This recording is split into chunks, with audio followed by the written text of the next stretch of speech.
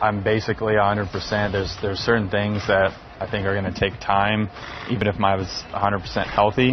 Um, not 100% as far as basketball wise, just because I haven't played in a year. So trying to figure those things out. Um, you know, the last step for me is, as far as from a physical standpoint, is like the, the little explosion, that little last juice bounce that you get. Um, and so that's going to take maybe the longest time, but like I said, for the most part, I feel very good. In each step along this uh, journey has been there's been points in time where um, I get to do different things. Like the first time that I was able to to uh, get out of the the uh, boot um, and walk normally. Then the first time I was able to jog, and um, I hit a point in time where then I had to do a second surgery, and that kind of brought me back down a little bit. But uh, after that, it's been it's been amazing with just the different, um, like I said, the different steps that in each step I, I get some joy, and so now we're kind of at that final step of playing five on five, and it's, um, you know, I, I enjoy practicing, I enjoy putting in the work because